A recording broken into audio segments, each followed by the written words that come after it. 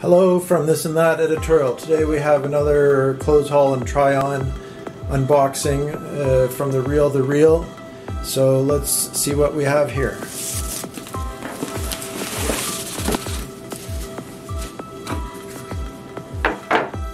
I can't get enough of the Real the Real really. It is so inexpensive and high quality clothes.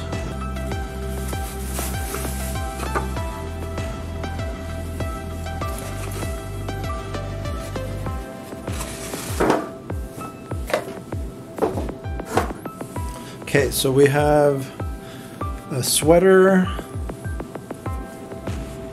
and a pair of trousers. So look at the trousers first. Armani.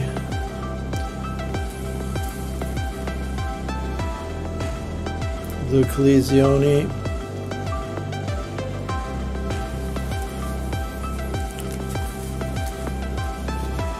We can display them nicely here. These weren't creased. They either had the crease taken out, I didn't ask them to do it. They're just selling them as is without a crease. The drape of the pleat, which is a darted uh, pleat, box pleat on the other side, is falls quite nicely without having a crease in the pants. So you can see how nice the drape is. And the weave is very fine weave, dark gray. And so I wanted to combine these with a sweater for the fall weather and the even colder weather.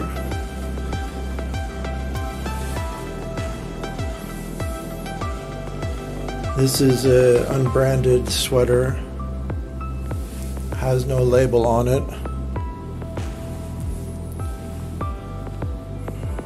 So it's quite clean, but labels can sometimes have a little too much going on with them.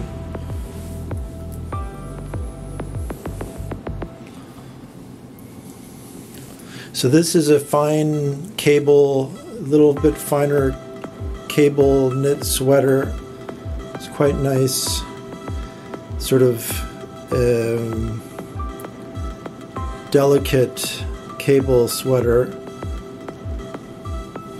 A little bit more feminine I suppose you could say rather than the big cables that they have on on the other sweaters you can buy.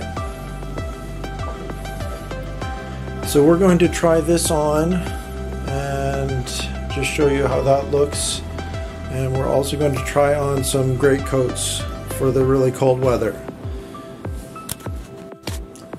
Okay, before we try anything on, I'm just going to show you these great coats that I've got uh, that I got secondhand, uh, not from the real the real, but I got them secondhand. They have uh, these leather stitched buttons on them, which are sort of not great for the environment, but they're still quite ornately and hand stitched.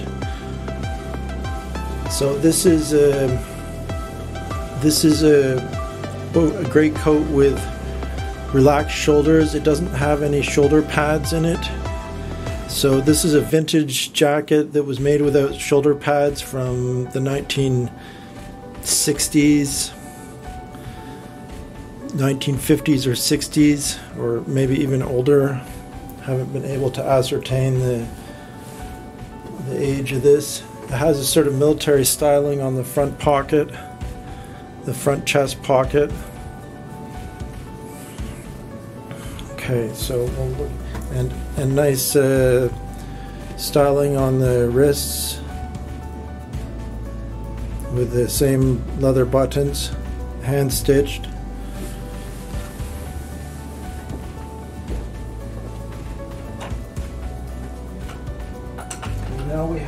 Another great coat that is even more elaborate. This has a faux fur collar on it. This is also vintage.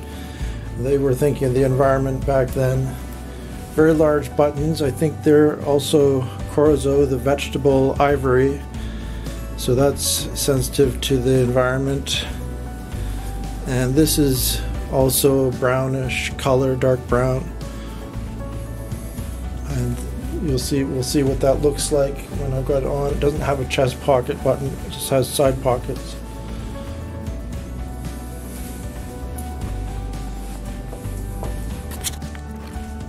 Okay, now I'm wearing the sweater with the wool trousers. I've tucked the sweater in. This is an Italian style thing to do. Um, it's nice and fits snugly and it looks stylish bit uh, athletic. Um, so anyway, you can see that. It's quite nice.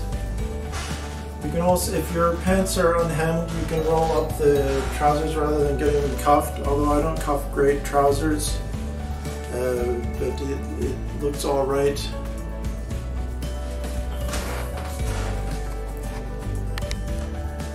Now we'll try on the first of these great coats the really cold weather. Wear a sweater underneath it. It's roomy enough in the shoulders. Do up the leather stitched buttons. You can see the shoulders are really relaxed. It's really nice and comfy.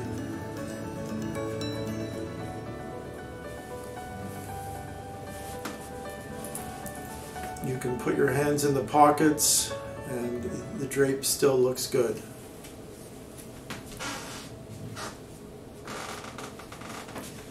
Half the belt there.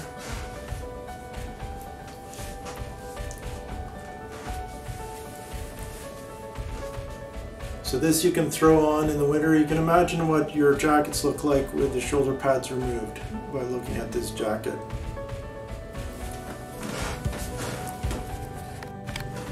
This is the second of the vintage gray coat from the 1950s, 60s. Looks like something you could wear in Siberia, although it has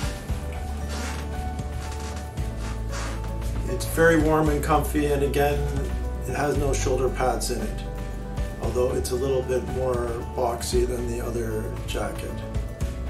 So thanks for watching this and that editorial. Leave us a like and subscribe.